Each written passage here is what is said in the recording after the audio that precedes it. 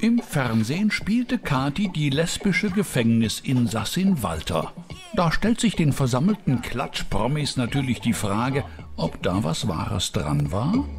Frauen sind toll, nur habe ich schon sehr früh festgestellt, dass ich eben nicht auf Frauen stehe. Ich habe das ausprobiert, das ist nicht meine.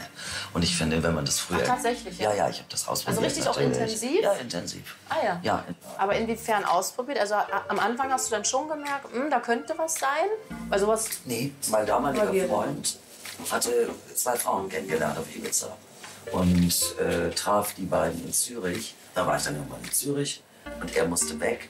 Und ich merkte schon sofort, diese Frauen sind zusammen. Also nicht nur, dass sie in einem Bett schliefen, sondern es war ganz klar, dass das eine Beziehung ist. Und er verneinte das immer. Und dann dachte ich immer, hat er jetzt Interesse an denen? Wobei die äh, so ein bisschen Interesse an mir zeigen.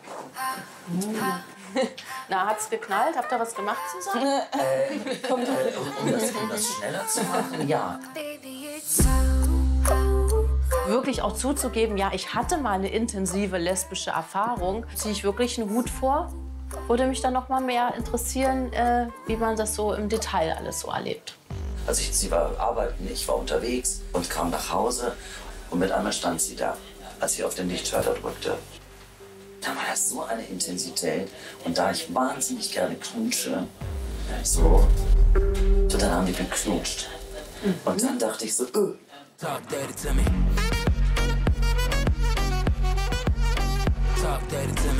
Und da war sie dann in meinem Bett. Oh.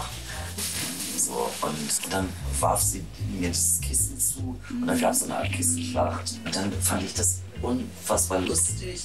Dann über, wirklich übereinander eher nicht knallen im Sinne Ja, von knallen, ja. sondern fallen knallen, also und lachend. Und, äh, aber so war das. Ja. So war das. Und dann haben wir miteinander geschlafen, auch wirklich. Ich wusste, wusste das gar nicht, kannte das gar nicht. Also ich, ich überlegte immer nur, was würde ich mögen, was ein Mann mit mir tut. Ja. So. Und so war diese sexuelle Begegnung. Ich habe ja früher den Frauenknast geguckt und da hat sie ja auch schon eine lesbische Frau gespielt. Und es war ganz spannend, heute noch mal zu erfahren, dass sie ja selbst im wirklichen Leben noch die, diese, schon diese Erfahrung gemacht hat. Ich finde Brüste toll, auch wenn man sie mal anguckt und so. Aber es ist nicht mein, oh, ich habe Sehnsucht, die anzufassen. Ich möchte mit keiner Frau zwischen die Beine gehen. Ja. Also, und ich finde, das ist ein Zeichen dafür, dass es nicht meins ist. Ja. Für mich ist eine offene Gesellschaft wunderbar. Ich liebe, dass, dass es freier geworden ist. Und das Wichtigste ist, dass man ein Mensch ist. Ich glaube an eine tiefe Liebe und wenn die noch mal sein soll, dann wird sie zu mir kommen und das werde ich merken.